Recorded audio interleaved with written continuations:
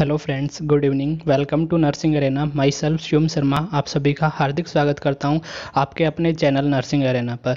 तो चलिए, आज का अपना टॉपिक जो है cleft lift and cleft palate है। हमने लास्ट क्लास के अंदर बात करी थी, ये किसके बारे में बात करी थी? हमने बात करी थी ट्रैकियोसिफेजल फिस्टुला के बारे में। अपना आज का जो टॉपिक है cleft lip and cleft palate है उसके बारे में डिस्कस करते हैं। तो सबसे पहला टॉपिक है क्लेफ्ट लिप देखिए क्लेफ्ट लिप की डेफिनेशन की अगर हम बात करें तो क्लेफ्ट लिप की डेफिनेशन है failure to fusion of soft tissue of lip during embryonic development is known as cleft lip ये कह रहा है कि एम्ब्रियोनिक डेवलपमेंट के दौरान क्या होता है? लिप्स की जो सॉफ्ट टिश्यू है, उनका प्रॉपर तरीके से क्या नहीं हो पाता? फ्यूज़न नहीं हो पाता। उनका क्या नहीं हो पाता? प्रॉपर तरीके से फ्यूज़न नहीं हो जाता। ठीक है तो इस कंडीशन को क्या कहते हैं? क्लेफ्ट लिप कहते हैं। इस कंडीशन को क्या कहते हैं? क्लेफ्ट लिप कहते हैं। ठीक है, इसके बाद में अगर हम बात करें तो it is usually unilateral on the left side ये कह रहा है कि यूजअली मतलब हमेशा यूजअली होता कैसा है? लेफ़्ट साइड होता है ऑन द यूनि यूनिलेटरल होता है on the left side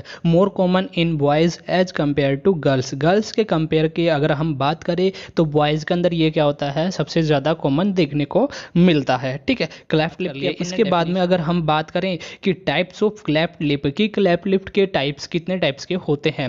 तो क्लैफ्ट लिप नॉर्मली कितने टाइप्स के होते हैं? चार टाइप्स के होते हैं जिनका मैंने यहाँ डिस्क्रिप्शन दे रखा है आपके सामने। देखिए first is unilateral second one is bilateral third one is incomplete and fourth one is complete complete cleft lip तो देखिए यूनिलेटरल में क्या होता है? Below the centre of one of the nostril जो अपने नोस्टिल होता है मतलब एक नोस्टिल है, उसके बिल्कुल सेंटर के बिलो जो अपना क्लेफ्ट लिप देखने को मिलता है, वो कौन सा होता है? यूनिलेटरल होता है। वो कौन सा होता है? यूनिलेटरल तो below the centre of below the centre of one of the nostril ठीक है? That's known as unilateral cleft lip अगर सेकंड वन की अगर हम बात करें तो सेकंड वन होता है बायलैटरल सेकंड वन क्या होता है? बायलैटरल तो बायलैटरल में देखिए बिलो बोथ नोस्टिल जो अपने दोनों नोस्टिल होते हैं लेफ़्ट एंड राइट उन दोनों के बीच में अगर देखने को मिलता है क्लेफ्ट लिप तो उस कंडीशन को वो कौन सा टाइप्स हो जाएगा? Bilateral cleft lip like bilateral cleft lip ठीक है? इसके बाद में थर्ड जो पॉइंट है इनकम्प्लीट इनकम्प्लीट क्लेफ्ट लिप मतलब देखिए इनकम्प्लीट देखो, नाम से ही पता चल रहा है इनकम्प्लीट मतलब प्रॉपर तरीके से नहीं है, ठीक है? A notch on vermilion border of lip जो लिप का वर्मिलियन बॉर्डर होता है, वहाँ पर देखने को मिलता है। और वहाँ पे क्या होता है, एक नोच बन जाती है। वहाँ क्या बनती है? एक नोच बन जाती है। A notch on vermilion border of lip अब देखिए, यहाँ पे अपने समझने की बात है कि वर्मिलियन बॉर्डर कौन सा होता है? वर्मिलियन बॉर्डर का मतलब क्या होता है? वर्मिलियन हम कह सकते हैं, एक तरीके से मार्जिन क्या बोल सकते हैं? मार्जिन बोल सकते हैं। क्या बोल सकते हैं? मार्जिन मार्जिन मतलब बिल्कुल मार्जिन पे। ठीक है, जो किनारा जो होता है कॉर्नर जो होता है, उसको क्या बोल सकते हैं?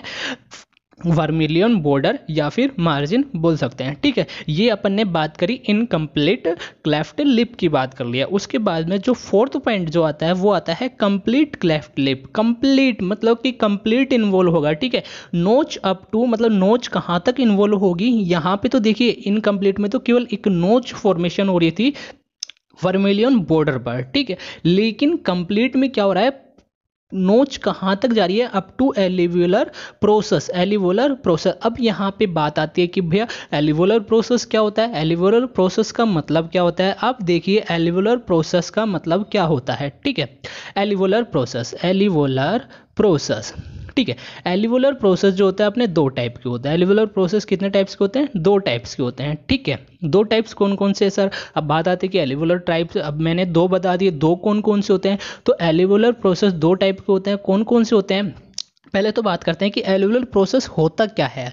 एल्यूलर प्रोसेस होता है thick thicken ridge that contain tooth socket मतलब थिक पार्ट जो होता है थिक वाला पार्ट जो होता है, जिसमें टूथ सॉकेट प्रेजेंट होता है। जिसमें क्या प्रेजेंट होते हैं? टूथ सॉकेट प्रेजेंट होता है। उसको क्या बोलते हैं? एलिवुलर प्रोसेस बोलते हैं। उसको क्या बोलते हैं? एलिवुलर प्रोसेस बोलते हैं। उसको क्या बोलते हैं? एलिवुलर प्रोसेस अब देखिए, दो टाइप्स के होते हैं ये। एलिवुलर प्रोसेस क्या होता है? दो टाइप्स के होते हैं। कौन कौन से? Alveolar process of maxilla in the top part of the mouth मतलब जो माउथ के टॉप पार्ट में होता है, जो उसको क्या बोलते हैं? एलिवुलर प्रोसेस ऑफ़ मैगजिला ठीक है? उसको क्या बोलते हैं? एलिवुलर प्रोसेस ऑफ़ मैगजिला मतलब जो मैगजिला पार्ट आपने सुना होगा, एक मैगजिला पार्ट होता है, एक तो कौन सा पार्ट होता है? मैगजिला होता है। ठीक है?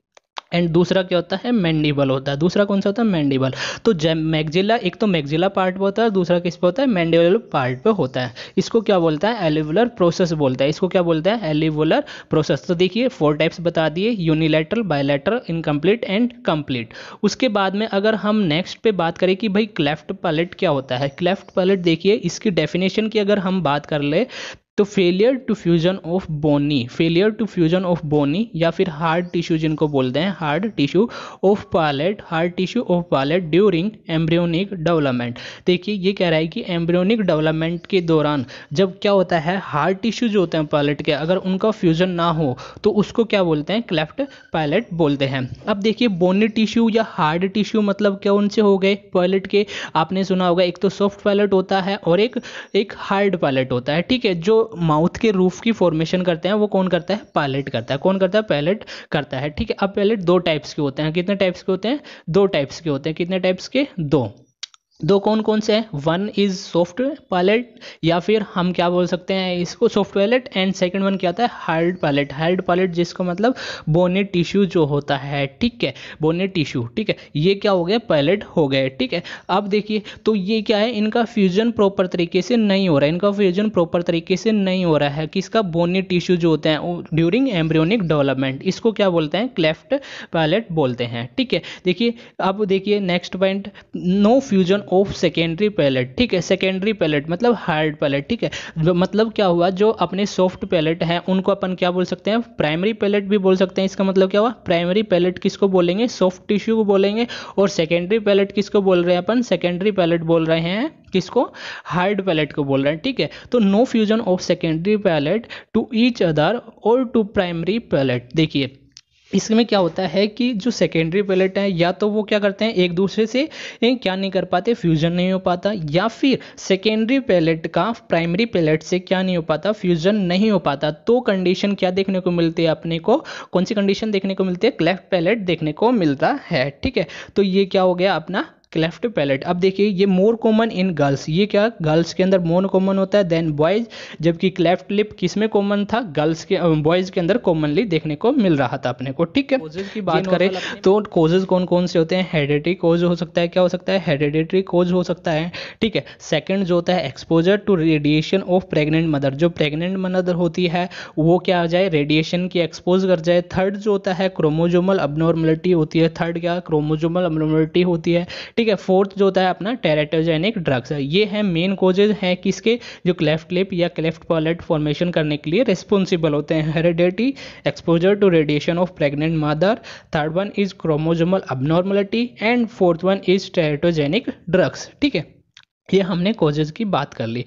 इसके बाद में अगर हम बात करें कि भाई इंटरवेंशन क्या प्रोवाइड करेंगे, क्या इंटरवेंशन क्या प्रोवाइड करेंगे तो देखिए assess the sucking swallowing and breathing difficulties अगर बच्चे को क्या रहे सकिंग करने में या सॉल्विंग करने में, ठीक है सकिंग करने में स्वॉलिंग करने में या फिर ब्रीथिंग डिफ़िकल्टीज़ होती है बच्चे को, ठीक है तो उस चीज़ को हम असेस करेंगे। अगर प्रॉब्लम हो रही है तो हम क्या करेंगे डॉक्टर को बताएँगे कि सर बच्चे को क्या रही है डिफ़िकल्टी हो रही है, किसके अंदर सकिंग करने में, ठीक है? स्वॉलिंग करने में या फिर ब्रीथिंग डिफ़िकल्टी हो रही है, ये हम डॉक्टर को कॉल करेंगे, ठीक है? इसके बाद में सेकंड की अगर हम बात कर लें कि सेकंड पॉइंट क्या हो सकता है? Monitor the daily weight patient का जो बच्चा है, उसका वेट जो है, अपन डेली मॉनिटर करेंगे, कितना वेट कम हो रहा है, कितना बढ़ रहा है, वो सब हम उसकी डेली मॉनिटरिंग करेंगे, किसकी? वेट की, ठीक है? Modified feeding technique with the help of obturator and special feeder because baby will not create vacuum, so use special feeder. अब देखिए, ये क्या बोल रहा है? थर्ड पॉइंट के अंदर ये बोल रहा है कि इसमें क्या होता है? बच्चा जो होता है, वो क्या नहीं कर पाता?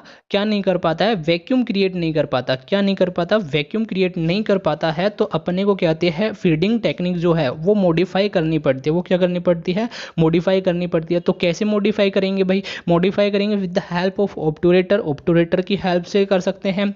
एंड स्पेशल फीडर आते हैं, जिसकी हेल्प से हम बेबी को क्या करेंगे? फीडिंग प्रोवाइड करेंगे, ठीक है? तो ये टेक्निक जो है अपनी फीडिंग कराने की, उनको क्या करेंगे? मॉडिफाई करेंगे, ठीक है? बेबी का जो वेट है डेली का, वो अपन मॉनिटर करेंगे, ठीक है? कितना वेट कम हो रहा है, ठीक है? ज़्यादा हो रहा है, कम हो रहा है, उनको मॉनिटर करेंगे।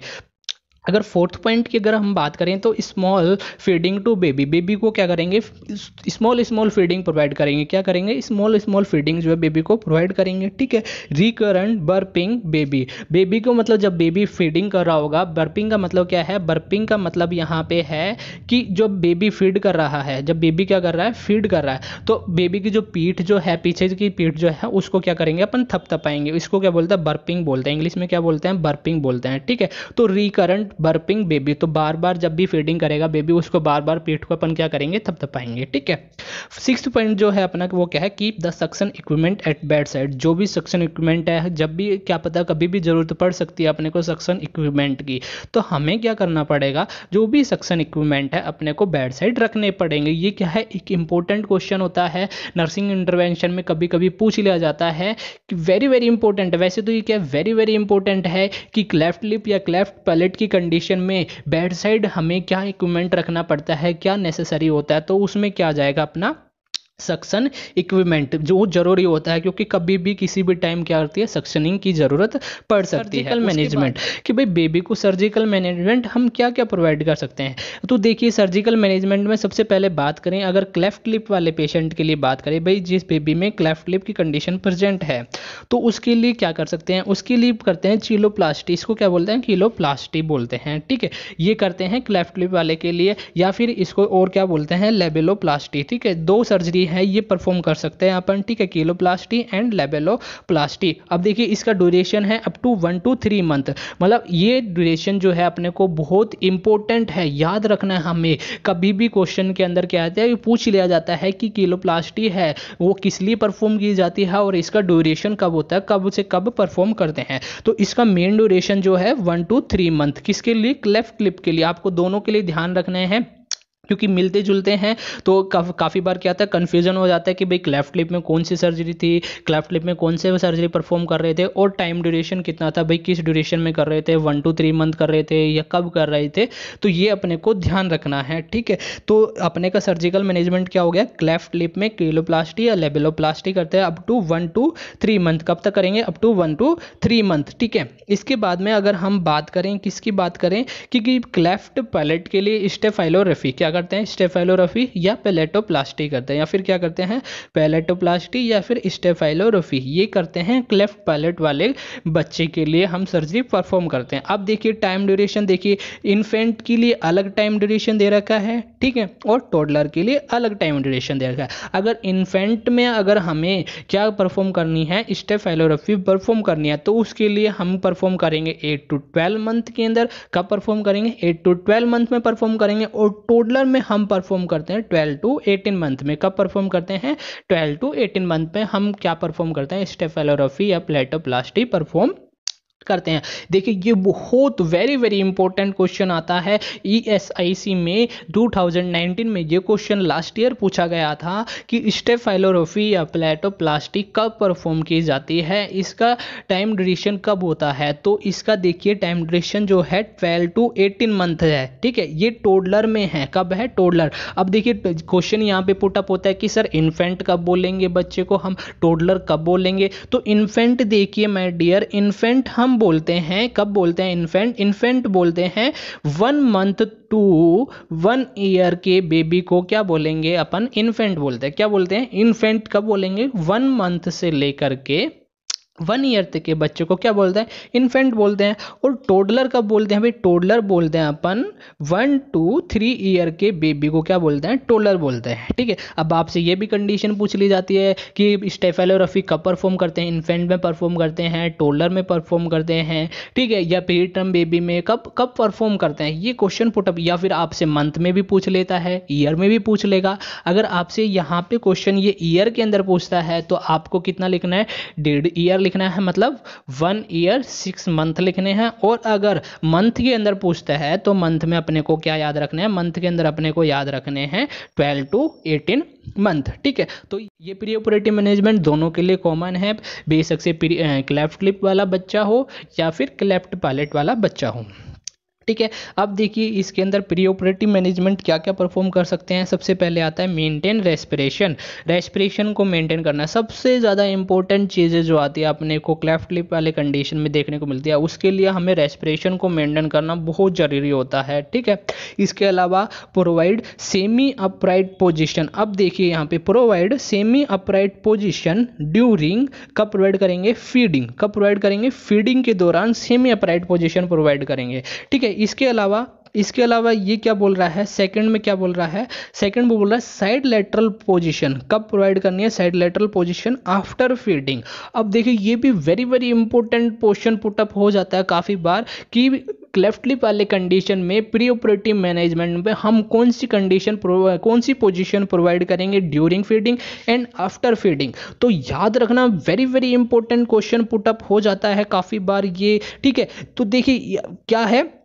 कि हम कौन सी पोजीशन प्रोवाइड करेंगे? ड्यूरिंग फीडिंग कौन सी पोजीशन प्रोवाइड करेंगे? और आफ्टर फीडिंग कौन सी पोजीशन प्रोवाइड करेंगे? तो ड्यूरिंग फीडिंग तो अपन प्रोवाइड करते हैं सेमी अपराइट पोजीशन कौन सी position semi upright position provide करते हैं। जबकि आफ्टर फीडिंग फीडिंग करने के बाद में साइड लेटरल पोजीशन प्रोवाइड करते हैं। कौन सी पोजीशन प्रोवाइड करते हैं? साइड लेटरल पोजीशन प्रोवाइड करते हैं। ठीक है, ये कब की बात है? आफ्टर फीडिंग कर रहे हैं। ठीक है, उसके बाद में नेक्स्ट अगर पॉइंट की बात करें put the milk inside and posterior part of the mouth so that easily engulf अब देखिए ये कह रहा है कि जो मिल्क है अपना उसको क्या करेंगे? इनसाइड पुट करेंगे and posterior part of the mouth mouth का जो पोस्टीरियर पार्ट है एंटीरियर पार्ट में नहीं करेंगे एंटीरियर पार्ट में करेंगे तो वहाँ पे क्लेफ्ट क्लिप की कंडीशन वैसे ही है, ठीक है? और वैक्यूम भी क्रिएट नहीं कर पा रहा है तो वो क्या कर है इजीली फीडिंग नहीं कर पाएगा और बाहर बाहर निकाल देगा, ठीक है? तो हमें क्या करना है? मिल्क को क्या करना है? इनसाइड करना है and posterior part of the mouth mouth का जो पोस्टीरियर पार्ट है, वहाँ पे करना है ताकि इजिली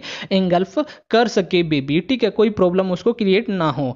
इसके बाद में फिफ्थ पॉइंट जो अपना आता है, वो आता है एजुकेट द पेरेंट्स देखिए, अब पेरेंट्स को एजुकेट करना है अपने को किसके बारे में? ईएसएसआर टेक्निक के बारे में पेश है। जो बज... बच्चे के जो पेरेंट्स हैं, उनको अपने को क्या करना है? एजुकेट करना है। किसके बारे में? फोर्थ पॉइंट बता रखे हैं, जिसको मैंने आपको क्या करा है? एक टर्म में डिफाइन किया है ई एस एस आर ठीक है, अब देखिए ई एस एस आर का मतलब क्या होता है? ई एस एस आर देखिए ई एस एस आर का मतलब क्या है? देखिए ई e का मतलब क्या है? एनलार्ज निपल जो निपल है, उनकी साइज़ को अपने को क्या करना पड़ेगा? एनलार्ज करना पड़ेगा। ठीक है? ई e का मतलब क्या हो गया? Enlarge nipple S stimulate sucking जो सकिंग है, उसको स्टूमुलेट करेंगे।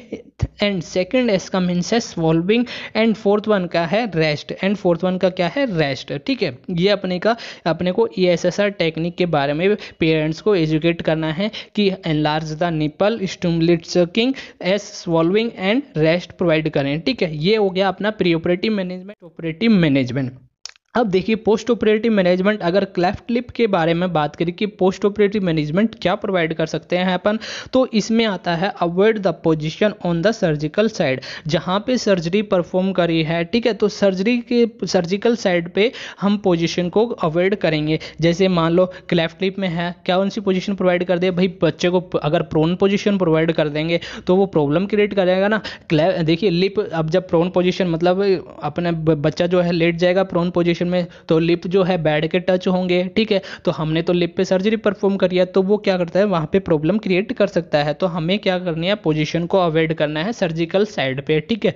ये हो गया, जैसे प्रोन पोजीशन एग्ज़ाम्पल बता दिया। उसके बाद में clean just after feeding site अब जब भी फीडिंग करवाएँगे पेश बच्चे को तो फीडिंग कराने के बाद में हमें क्या करना है? फीडिंग साइट को एकदम प्रॉपर तरीके से क्लीन करना है। प्रॉपर तरीके से क्या करना है? क्लीन करना है। क्यों करना है? ताकि हम इन्फेक्शन से क्या कर सकें? बच्चे को प्रिवेंट कर सकें। इन्फेक्शन से क्या कर सके? प्रिवेंट कर सके। तो clean just after feeding site मतलब फीडिंग करवाने के जस्ट आफ्टर हमें साइड को क्या करना है? प्रॉपर तरीके से क्लीन करना है। ताकि हम प्रिवेंट कर सके फ्रॉम इन्फेक्शन थर्ड पॉइंट जो अपना आता है, वो आता है है एंटीबायोटिक ऑइंटमेंट यूज़ जो एंटीबायोटिक ऑइंटमेंट यूज़ है, उसको क्या करेंगे? अपन यूज़ करेंगे ताकि बैक्टीरियल इन्फेक्शन ना हो सके।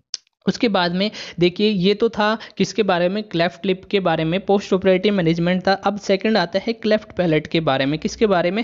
क्लेफ्ट पैलेट के बारे में। अब देखिए क्लेफ्ट लेफ़्ट पैलेट में क्या कर सकते हैं? Oral packing for three to six days oral packing for three to six days after surgical procedure देखिए, ये क्या कह रहा है? ये कह रहा है कि यहाँ पर जब हम सर्जिकल प्रोसीजर कर देते हैं तो उसके बाद में ओरल पैकिंग करेंगे। क्या करेंगे? माउथ को मतलब क्या कर देंगे? पैक कर देंगे for three to six days three to six days तक, ताकि वो जो हमने सर्जिकल जो भी सर्जिकल प्रोसीजर अप्लाई किया है, वो प्रॉपर तरीके से हील हो सके। तो थ्री टू सिक्स डेज़ तक अपने को क्या करनी है? ओरल पैकिंग करनी है, ठीक है?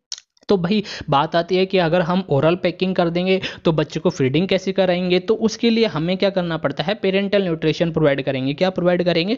पेरेंटल न्यूट्रिशन प्रोवाइड करेंगे बेबी को। उसके बाद में फिफ्थ पॉइंट जो आता है अपना, यहाँ पे फिफ्थ पॉइंट क्या है? Do not suction for cleft surgery जो क्लेफ्ट सर्जरी वाला पेशेंट जो है बेबी जो है, उसके अंदर सक्शन परफॉर्म नहीं करेंगे। अपन क्या परफॉर्म नहीं करेंगे? सक्शनिंग परफॉर्म नहीं करेंगे।